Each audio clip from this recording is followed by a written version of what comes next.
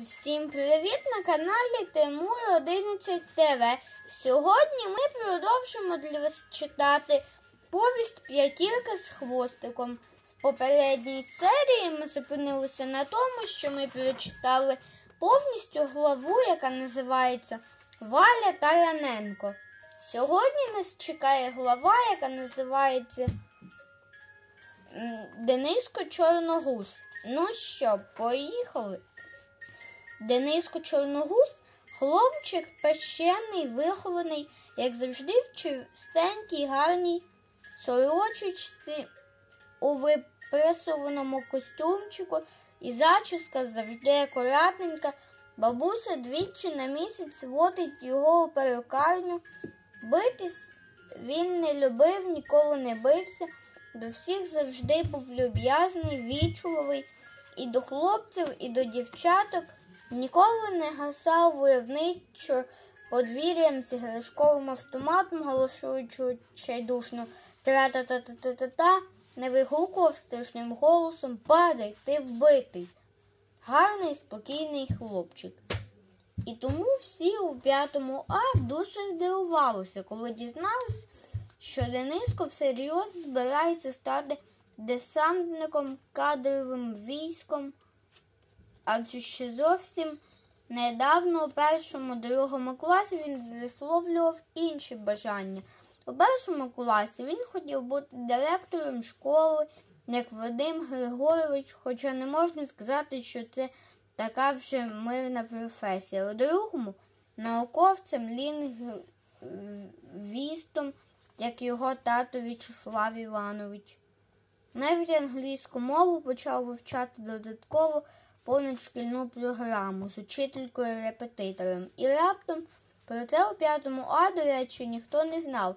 Раптом повернувся з армії Денисків сусіда, що мешкає з ними на одній площадці. Валера Соколенко. Дениско давно ще до армії дружив з ним. Коли Дениско пішов у перший клас, Валера закінчував школу. У Дениска був перший дзвоник, у Валери останній. Валера часто катав його на велосипеді, садовив на раму, і вони їхали на схили, потім до Петрівськ... потім по Петрівській алеї, але повз Аскольдову могилу до пам'ятника невідомому солдатові. Дениско дуже любив ці подорожі. Валера перепасував до рами спеціальну подушечку, щоб Денискові було м'яко і заручно. Він тримався руками за кермо і удавав, наче то він веде велосипед, і в листах, які писав Валера з армії батькам, він завжди передавав Денискові вітання. Один раз він приїздив у відпустку на кілька днів. То була нагорода за відмінну службу. У хвицькому береті у спеціальній сорочці з відкладним комірем, із-під якого виднілося тільняшка з блакитними світлішими, ніж у моряків смугами. Валера мав такий бравий вигляд по молодечому, що Дениско очей від нього не міг одвести. Ну от і все ми прочитали історію, ми прочитали другу частину голови, яка називається Дениско Чорногуз. В наступній серії нас чекає друга частина глави Дениско Чорногуз.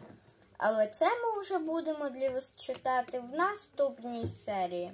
А зараз став лайк і підписуйся на канал Тимур 11 ТВ. До побачення!